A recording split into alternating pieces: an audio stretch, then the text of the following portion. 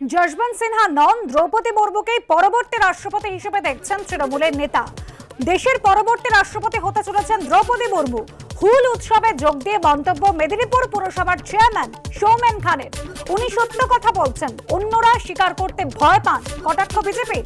সৌমেন খানের ব্যক্তিগত মত, দলের নয়, প্রতিক্রিয়া তৃণমূল নেতৃত্বের।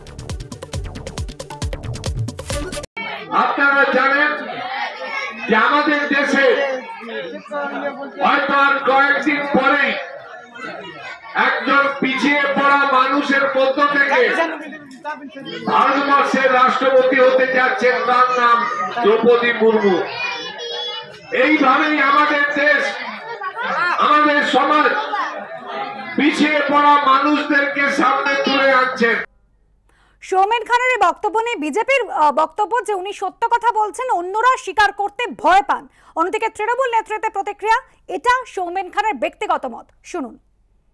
মাননীয় পৌরপিতাকে ধন্যবাদ, সত্যি কথাটা ঠিকভাবে বলেছেন। এমনি সাধারণ মানুষ, সমস্ত নেতা, তৃণমূলেরও নেতা, তারা জানেন, নরেন্দ্র মোদীজি যা যা করছেন, তাতে দেশের উন্নতি হচ্ছে। একদম চুরিতে, একদম ওই ওনাদের কথা মতো মাথা পর্যন্ত ডুবে আছে। তারা সত্যি কথা বলতে ভয় পাচ্ছে, এই ধরনের শক্তি এলে তাদের চুরিতে বাধা পড়বে বলে স্বীকার করতে ভয় পায়। স্বাভাবিকভাবে ইনি স্বীকার করেছেন এই জন্য ধন্যবাদ, এটা সত্যি কথা। সুতরাং সত্যি কথা স্বীকার সবারই করা উচিত। এটা চেয়ারম্যান সৌমেন খান তার ব্যক্তিগত ওপিনিয়ন দিতে পারে। এটা দলের কোনো সিদ্ধান্ত নয় বা দলের কোনো বক্তব্যও নয়।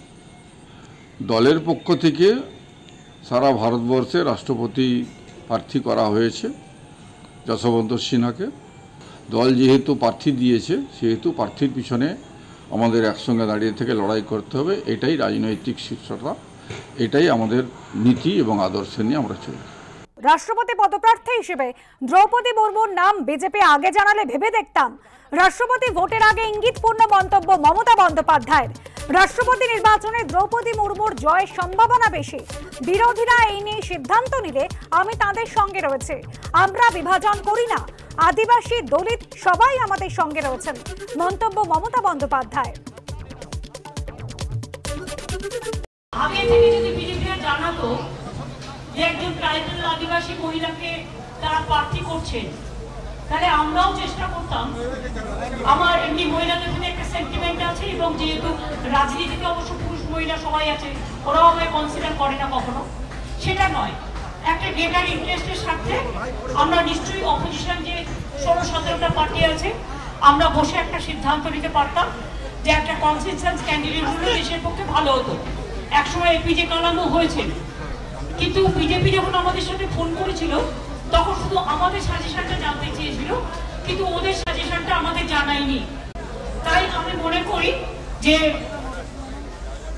গেটার ইন্টারেস্টে গেটার কনসেসাস ক্যান্ডিডেট আমি সবসময় যেহেতু আমরা সতেরোটা, আঠেরোটা পলিটিক্যাল পার্টিস একসাথে বসে একটা সিদ্ধান্ত নিয়েছি, সেই সিদ্ধান্ত থেকে সবাই না বললে আমি একা ফিরে আসা সম্ভব নয়। বাট আমি চাই রাষ্ট্রপতি ইলেকশন শান্তিপূর্ণভাবে, সুন্দরভাবে হোক এবং সব জাতি, সব ধর্ম, সব বর্ণের প্রতি আমাদের সমান সম্মান থাকবে।